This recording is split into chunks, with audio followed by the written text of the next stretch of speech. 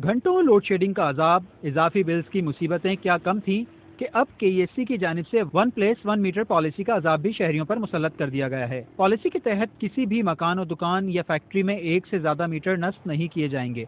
इस पॉलिसी की वजह से नॉर्थ नाजमाबाद ब्लॉक आई में 40 बरस से मुकीम अरशद गुलजार भी परेशान हैं। वो अपने भाइयों के साथ अलग अलग हिस्सों में रहते थे, जिनके गैस और बिजली के मीटर भी अलग थे। लेकिन अब के का अमला उनके दो मीटर उतारने के दर पे है। ये देखिए, ये हमने ये मकान जो है चालीस साल पहले बनाया और ये तीन इंडिपेंडेंट पोर्शन है इसमें और तीन भाई रहते हैं इसमें। इसमें हमारा अच्छा खासा जो है इनको रिवेन्यू जाता है।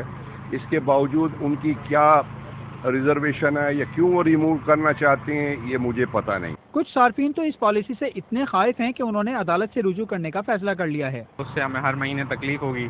किसने ज़्यादा इस्तेमाल किया जिसकी वजह से पर यूनिट कॉस्ट बढ़ गई।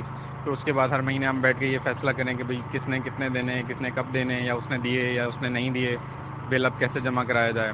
केसी तर्जुमान का कहना है कि अगर किसी सारिफ के पास अलग अलग मालकाना हकूक हैं तो वो अलग अलग मीटर नस्ब कर सकते हैं। बसूरत दीगर इजाफी मीटर उतारने का हक उन्हें नेपरा ने दिया है।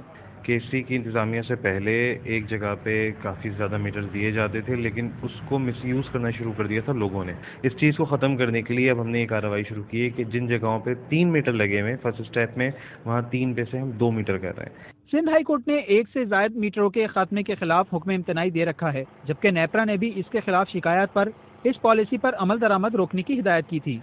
सार्फिन का कहना है कि के इंतजामिया जिस कदर मेहनत रेवेन्यू जनरेशन के नित नए तरीके ईजाद करने में लगाती है, अगर उतनी ही पावर जनरेशन और उन्हें बिजली फराहम करने में लगाए तो ना ही शहर में बिजली का बहरान हो और ना ही उन्हें कोई मुश्किल।